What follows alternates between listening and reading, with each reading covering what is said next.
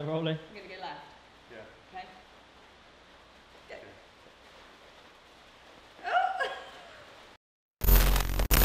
Hi, I'm Anna from the Running Channel, and this is James from Kinetic Revolution. Hi.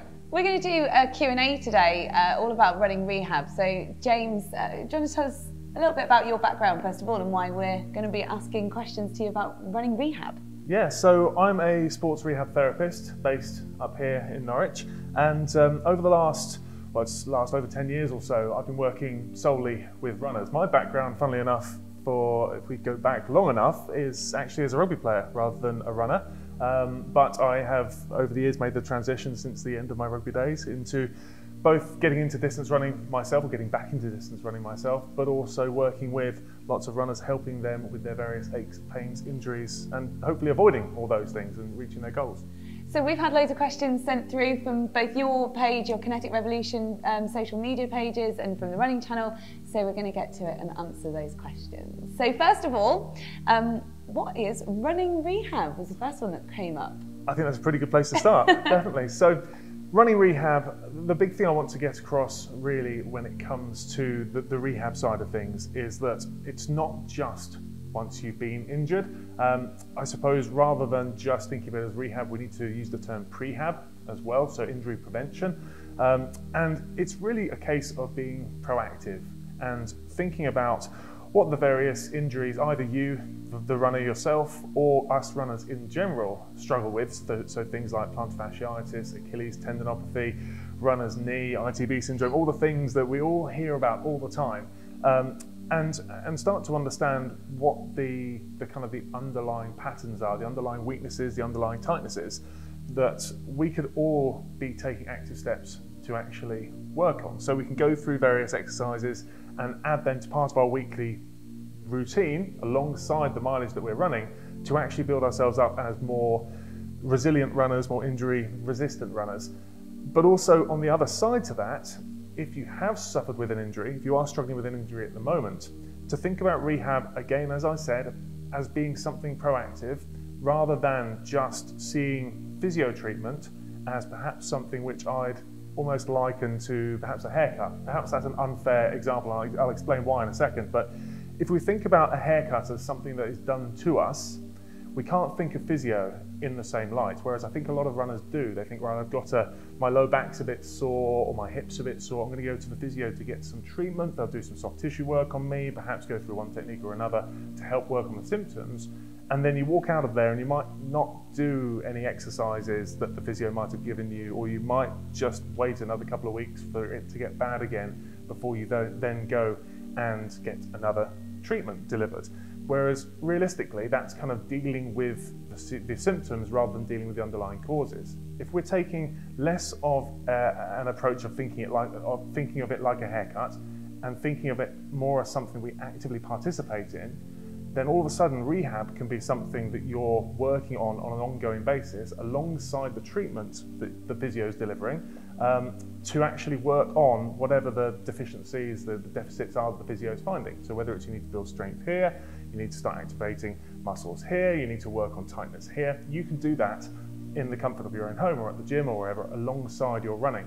So, James, you, you, said there that runners should be doing strength exercises in order to make us better runners and yeah. to help prevent injuries. So, the next question ties in really nicely, and it's what should runners be doing both weekly and daily in order to prevent injuries? So, first things first, before we look at saying that there's one exercise that we should all be doing, one drill that we should all be incorporating to our running or anything like that, I want to make sure that actually we'll just take a moment to, to have a look at whether we're getting our recovery right, whether we're getting the, the training, the, the kind of combination of volume and intensity and frequency right with our training as well. So that has to be the first thing to get right before we start really looking to a given exercise as being kind of the holy grail in that respect. But that said, let's say if you have got that right, but you're in a, a sedentary job, you spend day in, day out, kind of as we are right now, sitting down. Um, the, the big thing that you can really start to do is start to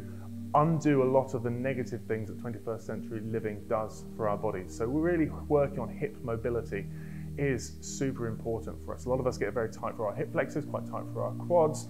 Um, and quite weak through our glutes. If we can just simply work on that a little bit, start working on exercises to promote hip mobility, promote glute activation, then that's going to help uh, give us a really good base from which a lot of the movements when we're running need to come from.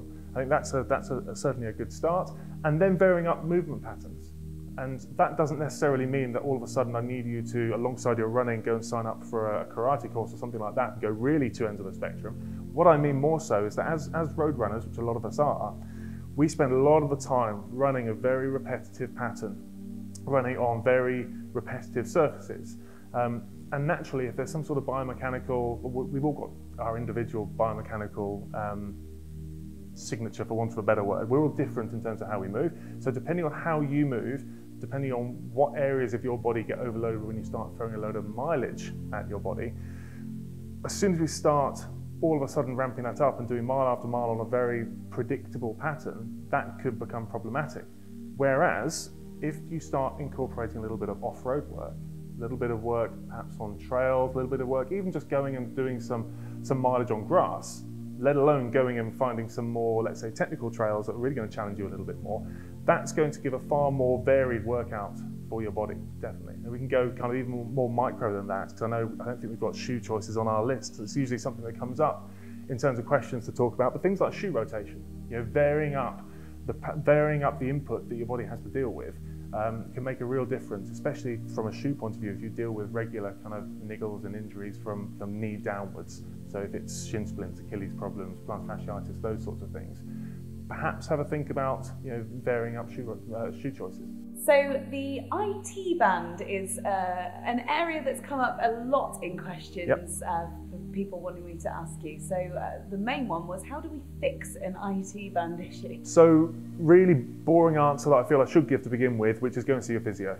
Um, you know, there's so much online, whether it's this video, whether it's stuff elsewhere, that will give you different answers. Um, and just because they're all different answers doesn't mean that one is right and the rest are wrong. It quite often means that sometimes your IT band issue might come from a different ultimate root cause than the person next to you. So you need a physio to go give you a proper assessment and identify specifically whether it's something that's perhaps more footwear related, something that's perhaps more related up around the kind of hips and pelvis region, combination of the two, or something completely different as well. So that I suppose is the important caveat to start with.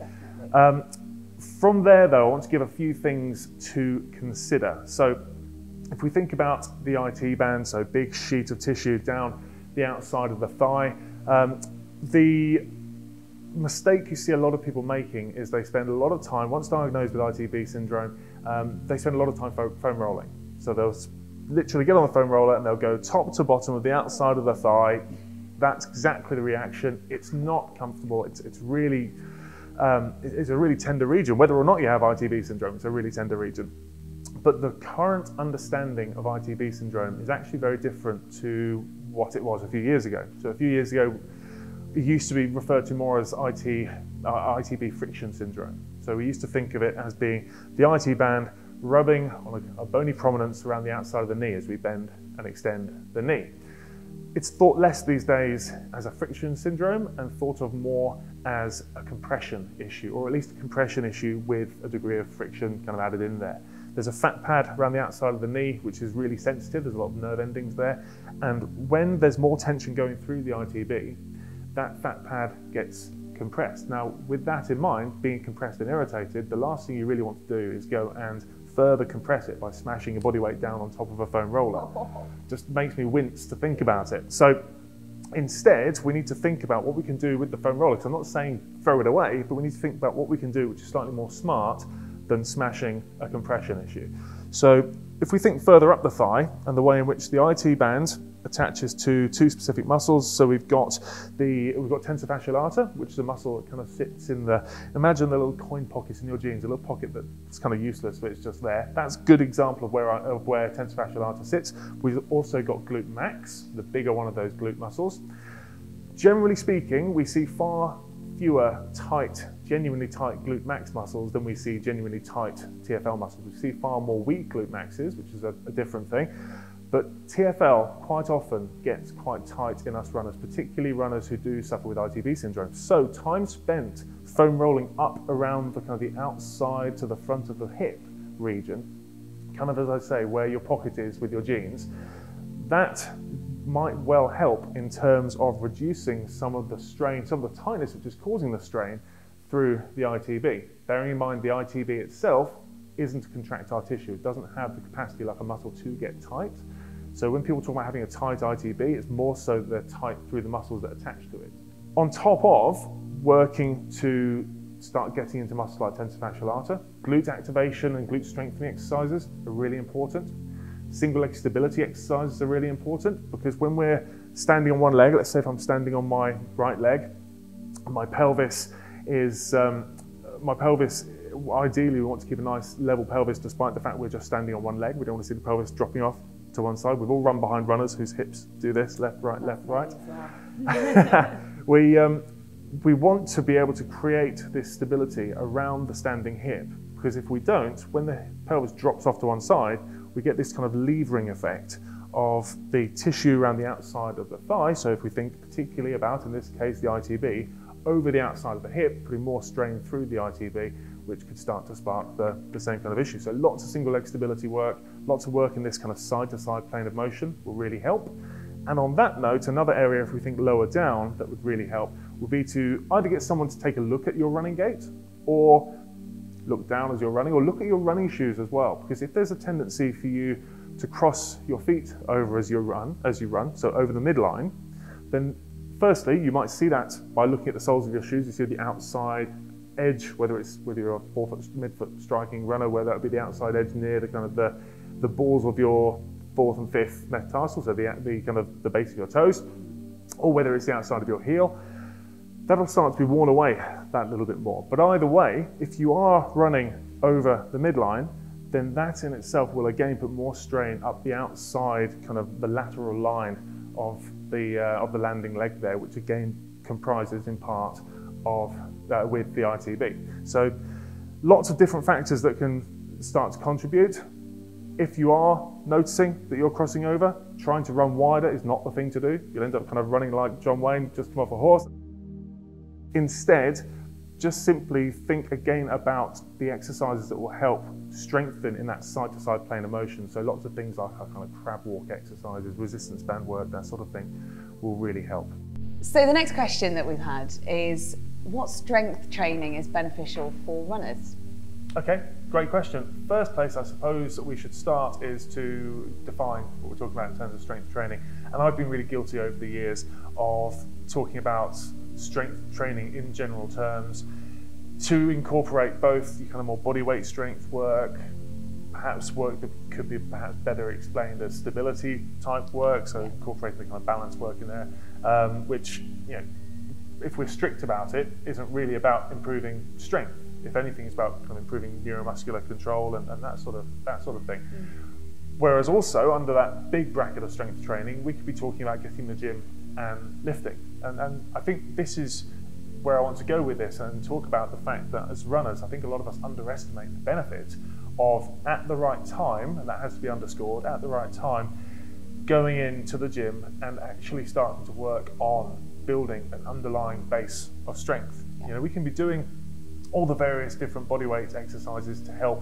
Um, and think of that very generally as you kind of the exercises your physio might give you um, to help build ourselves as more robust runners, deal with any kind of underlying instabilities or restrictions or what have you. So like a glute bridge or something like that. yeah, that. Totally, kind of totally yeah. that kind of thing to help switch the right muscles on at the right the right kind of time, which is where we're going with the glute bridge. Yeah. Um, but if we want to really build underlying strength and see gains in the gym in terms of you know, how much literally how much weight you can lift, which will translate to becoming a stronger runner, then there are appropriate periods in the year where actually doing so would really help you as a runner. So let's say you've just done your, your kind of main race for the year. So let's say it's a half marathon, you're under the belt, you're really happy, um, training went well, you've come out of it without any, any real issues in terms of injury, etc., and you're wondering what to do with the next few months before you start ramping into perhaps another training program for another event coming up.